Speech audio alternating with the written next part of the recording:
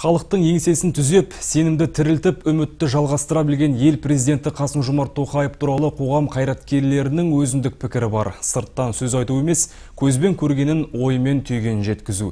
Сондай азаматтардың бірі елге белгілі Қожа Ахмет Баймаханов. Біздің тілшімен аз кем әңгімесін ұсынамыз сырттан кесіп пішуден аулақпыз. Сенатта алты жыл қазіргі ел президенті қасым жомарт тоқаевпен бірге қызмет еткен шақтағы көзбен көрген көкейге түйген дүние мен бүгінгі күннің ахуалына параллель жүргізе отырып аз кем пікір білдірген қоғам қайраткерінің әңгімесінен. Қасым жомарт кемелұлы тоқаев деген азаматпен мен кеше алты жыл сенатта бірге қызмет істедім. Бұл кісі бір керемет адам. Осы бір үлкен бір осы шетелдің азаматтарымен кездесу болды.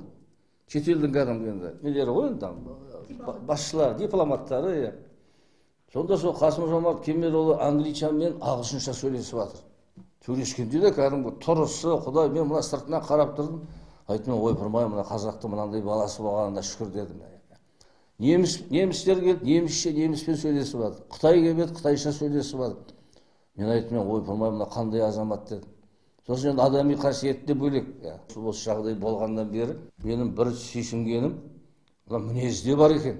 Әумесерлік пен алаңғасарлыққа шырмалғандардың шатағына ермей халық саналылық таныта білді.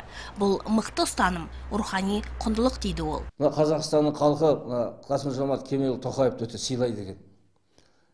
Меніңше кешегі мына алматыда басқа жерде болып жатқанға мына халықтың көбісі біразының мысалы соған былай қосылмағаны соған араласпағаны бар ғой иә ол первую очередь к уважению президенту. Мен солай түсіндім өзім. Бір сұрайтыным осы бірлікті сақтап мына мемлекетті сақтап қалу керек. Осы бүгінгі күнге бізге қазақстанға осындай азамат керек. Бір ырза болғаным біздің қазақстанның халқына ырза болдым.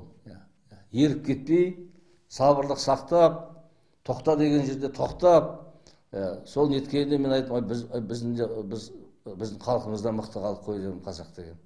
Екінші мына биліктегі мына қазіргі мына үкіметті отставкаға жіберіп жатыр ертең құдай қаласа он бірінде жаңағы парламентте енді төменгі палатасында үкіметті бекітетін шығар.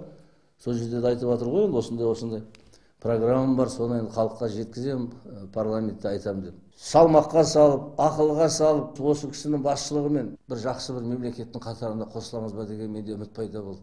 Дұрысты айтпақ жақсыны көрмек дейді халық даналығы жақсылыққа ұмтылған жаңалыққа құлшынған халқымыз 11 қаңтар күнгі президент мәлімдемесінен үлкен үміт күтіп отыр. Бұл түсінікті де. Лайым құдай мың өліп мың тірілген қазақты жамандықтан сақтағай. Айнұр тұңғышбаева нұржан мұзарапшин төрехан қожахметов қызылорда телеарнасы.